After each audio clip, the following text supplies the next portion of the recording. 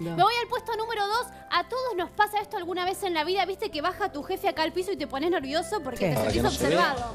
Le pasó Para lo no mismo vea a Ángel la- de Brito con su jefe. Hola, terraza, ¿dónde querés? Miren esto. Cuando vos quieras. Vamos, vamos afuera, ¿no?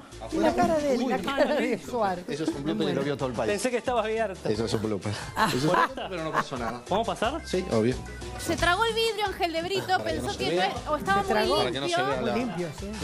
Adelante Hola, del terraza, jefe ¿dónde y querés? este video es viral y está en Vamos todos los afuera, ¿no? portales muy Afuera, uy, gracioso. uy, muy. Ah, no, es vidrio. ¡Ay, cómo se lo tragó! Es genial. Pensé que estaba abierto. No, no, no, se pega con la cabeza. ¿Vamos a pasar? Ay, a ver, de nuevo, pásamelo. Me encanta cuando se pega con la cabeza. Ahí va de vuelta. Para que no se se, vea se la... escucha el ruido, escucha. Hola, terraza, ¿dónde querés? Cuando vos quieras.